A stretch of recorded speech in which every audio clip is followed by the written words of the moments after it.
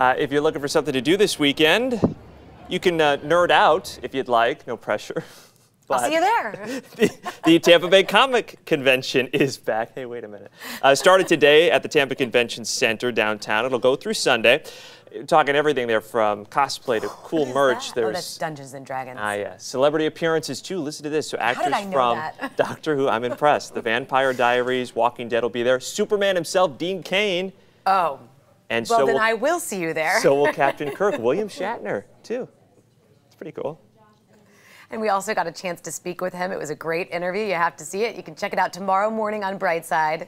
Yeah, Chris Rogers got to talk with him. Said it was very entertaining. Oh, I Not bet. surprising. He, yeah. He's 90? No, I can't believe it. He looks great.